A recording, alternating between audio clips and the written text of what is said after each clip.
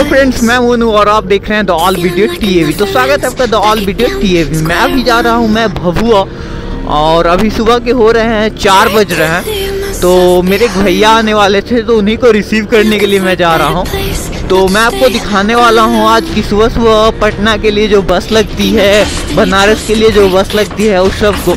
तो मैं अभी नहर पे पहुँचने वाला हूँ, और ठंडा बहुत ही काफ़ी है, जिसे बाइक चलाने में बहुत प्रॉब्लम हो रही है भाई लोग, और मैं आपको पीछे का रास्ता का सीन इसलिए नहीं दिखाया क्योंकि पीछे लाइट नहीं जलती है। तो लाइट नहीं जलती है तो आपको अच्छे से सीन नहीं दिखाई देगा और बाइक के लाइट से आपको कोई मज़ा नहीं आएगा। तो जिसकी वजह से मैं आपको भभुआ यहाँ पे लाइट जल रही है तो यहाँ का सीन दिखा रहा हूँ। तो अभी देख सकते हैं, सुबह का चार बज रहा है और कोई लोग रोड पे दिखाई नहीं दे रहे हैं, बहुत कम लोग रोड पे दिखाई दे रहे हैं। क्योंकि इतने ठंडा में कोई भाई घर से बाहर नहीं निकलना चाहता। है आ, गर्मी का अगर यही दिन होता तो बहुत लोग स्टेडियम जा रहे होते दौड़ने के लिए टहलने के लिए। बहुत लोग दिख जाते हैं भाई गर्मी के दिन में। लेकिन ठंडा के दिन में मैं अभी तक स्टेडियम के गेट के पास भी आ चुका हूँ देख सकते हैं। कोई नहीं दिख रहा है रोड पे। एक दो लोग दिख रहे हैं सामने से एक दो लोग आ रहे हैं। तो और यहाँ पे भीड़ लगा है टिकट के लिए, क्योंकि यहाँ पे एक डॉक्टर सुबह सुबह इनका काउंटर खुलता है तो वहीं टिकट के लिए लोग पुर्जी कटाने के लिए लगते हैं।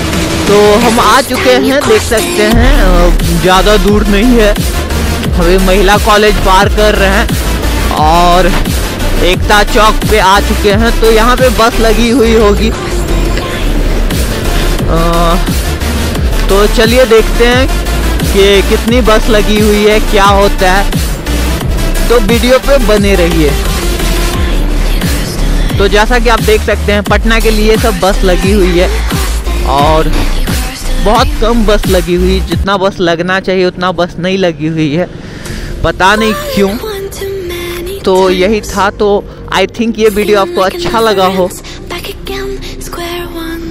तो आज के लिए बस इतना ही और ज़्यादा बस नहीं लगी हुई है तो पता नहीं मुझे भी नहीं पता चल रहा है चाहे तो बस नहीं आई हुई होगी अभी ज़्यादा बस।